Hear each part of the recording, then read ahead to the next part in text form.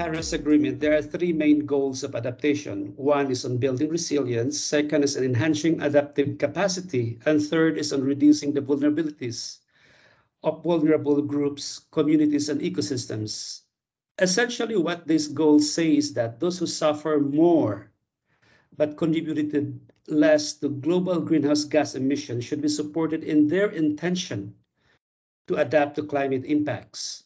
It is crucially important um, to, to look at people, uh, the environment, which is nature, and socioeconomic systems, the cultures, different cultures of the people, and in there factor in justice.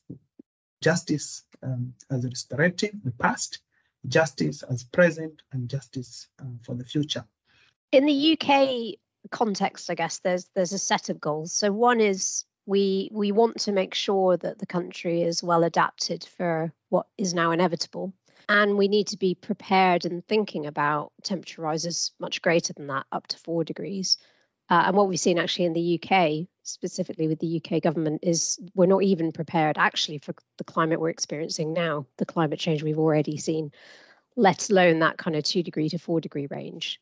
I do think it is important to really uh, allocate mandates, build capacities, and achieve accountabilities at the local level. If we do not have capacity at the local scale in institutions at the local scale, it becomes naive, it becomes unrealistic to expect that adaptation is going to happen. And the other thing we don't really have in the UK is is a proper vision for what adaptation could look like in the future. And I think that's really important to have alongside the sort of target-based approach you have with mitigations. We don't have that for adaptation. We don't have really a, a quantitative vision um, for what what the country could look like in the next 20 to 30 years. And that's something we know the government is is actively working on at the minute.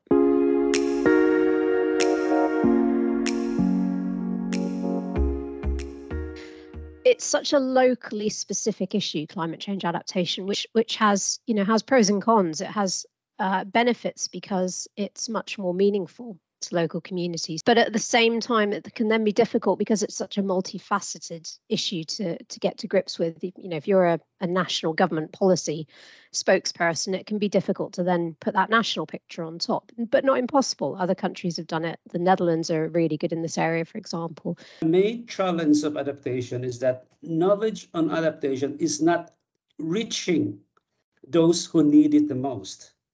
Such knowledge is not informing policies and interventions to limit the impacts of climate change on vulnerable communities. How do we move from knowledge to practice is the main challenge, especially that the reality of a 1.5 degree temperature change is imminent. We do not only need knowledge, but we also need to ensure that such knowledge will lead to action. And that to me is the main challenge far too long. We've made several assumptions, several dangerous expectations, and we don't see people moving with us, partly because there's been no deliberate investment in really communicating the consequences and the possibilities and pathways to adapt in a language that the masses can actually do understand and appreciate. And I think one of the other big challenges with adaptation is it is still, you know, after working on it for 20 years, it is still seen um, almost as a as a cop out to mitigation. So if we talk about adaptation too much, some people tend to feel that we're suggesting that we're not going to achieve uh, climate change mitigation goals, that we're not going to reduce our greenhouse gas emissions, or that we don't need to. Major problem, uh, particularly for uh, uh global south or developing country context, is the financing gap. And because of this limited financing, what we see is that uh, research and development um, that really can facilitate our, our fast transition and also prepare us for a different way of life is lagging, particularly in low income countries. Uh, innovation on sustainability adaptation initiatives remains remains very limited.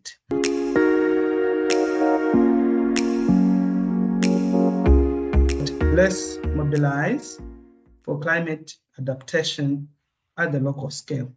Knowledge needs to be downscaled to that level. Climate adaptation narratives, as varied as they may be, need to be localized.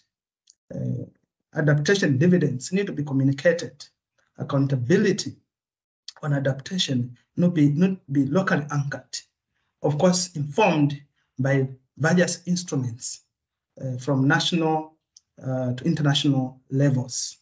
Given, as I've said, you know, adaptation is a very local issue. It's often down to organisations and communities to actually do the adaptation on the ground.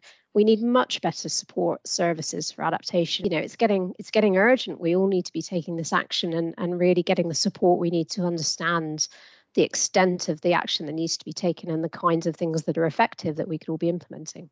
All hands need to get on deck. We all need to get our boats dirty to get acting at the local level. Uh, anything outside of the local can only support. The real action happens in the local.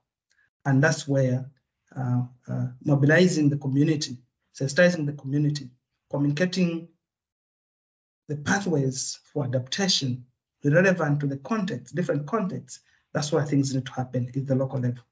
Much of adaptation knowledge is driven by certain groups, certain places.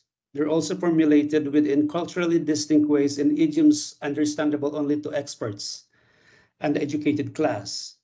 What we need is an honest to goodness conversation with vulnerable communities or the subalterns, to use the language in post-colonial studies, to understand their needs and concerns with regards to the impacts of climate change. Maybe they don't need technocratic knowledge. Maybe they only need their knowledge systems and understanding of the situation to be respected and listened to and let them act in ways they are familiar with. Also, there might be far more serious development challenge that they are to contend with so that climate change impacts is something good to think about only when their pressing development concerns are addressed, like basic necessities to live respectable lives, such as access to water and sanitation services and infrastructure.